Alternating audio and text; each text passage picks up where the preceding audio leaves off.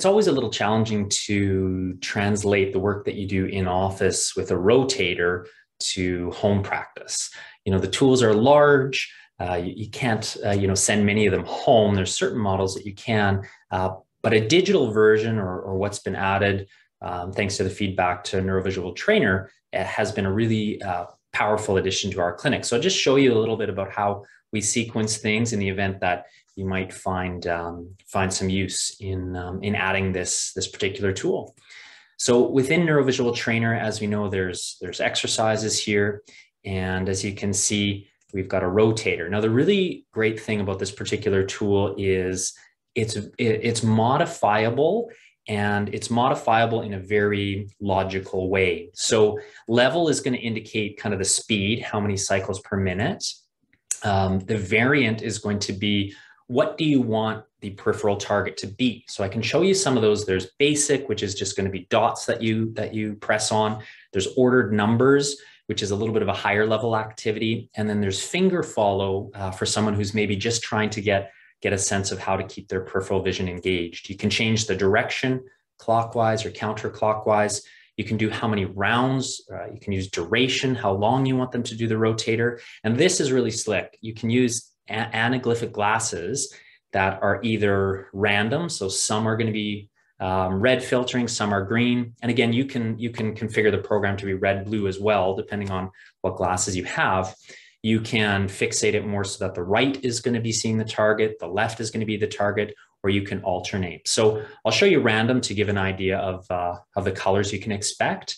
Um, you can change the dot size to make them larger, smaller. You can change how many dots are rotating to uh, to uh, improve diff or to change difficulty. And your central focus, uh, you can again have no central focus.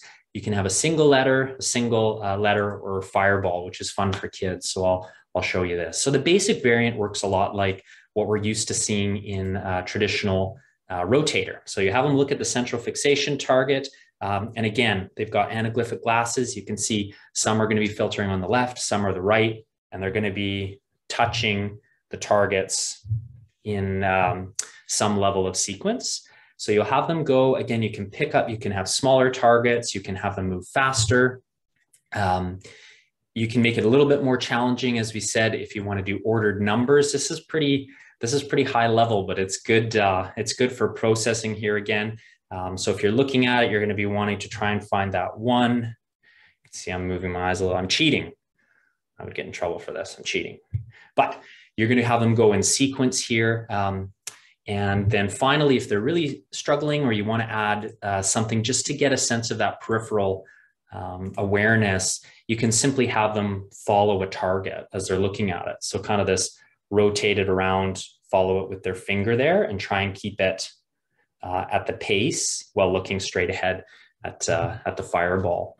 Very modifiable. You can use it um, you can use it in office if you've got an iPad on a stand or any type of a touch screen. And uh, the nice thing is you can send it home uh, as well too, which has always been a little bit of a, a, barrier for us in terms of home rotator training. So we've been really impressed uh, again with with what the developers have put together. Um, again, they've been really responsive um, to I know many of the teams that they work with, and uh, I just wanted to demonstrate a little bit of the versatility of this fantastic tool that they've added.